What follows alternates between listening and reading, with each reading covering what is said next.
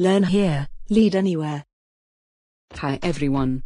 Today we are going to learn about cloud computing with Microsoft Azure. So, without any further ado, let's take a look at the agenda for today. What is cloud? Why Microsoft Azure? And what is Microsoft Azure? So, what is cloud?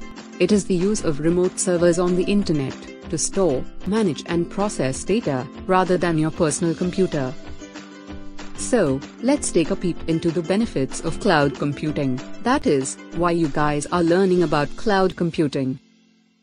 First, cloud computing is very cost efficient, it eliminates the capital expenses of buying, setting up and running the on-site data centers. Second is global scale, which is the ability to scale elastically and deliver the right amount of IT resources, right when it's needed, and from the right geographic location. Third comes the performance. It helps in reduced network latency for application and greater economics of scale by regular upgradation of hardware in data centers. Fourth is the speed in which provision of resources through self-service and on-demand enable flexibility and depressurize capacity planning. The next benefit is productivity the need for racking and stacking is removed, and also, lets two teams spend time on more important business goals. The last benefit is reliability. It performs data backup, disaster recovery, and also makes business continuity easier and less expensive. Now that we have seen the benefits of cloud computing, let's have a look at the cloud deployment model. This image clearly explains the model in a gist.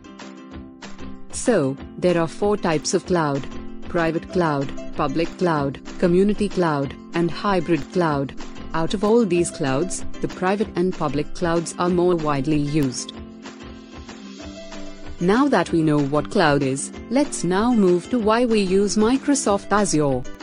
Microsoft Azure is very user-friendly, it has made significant advances over the past few years, and also offers a set of features and capabilities far surprising its competitors. Now, let's take a quick look into our main topic for today. What is Microsoft Azure? Microsoft Azure is a growing collection of integrated cloud services, which developers and IT professionals use to build, deploy and manage applications. In this video, you have learnt about what is cloud, why do we use Microsoft Azure, and what is Microsoft Azure. I hope you had fun learning these new topics today. See you again, with more about these topics in class.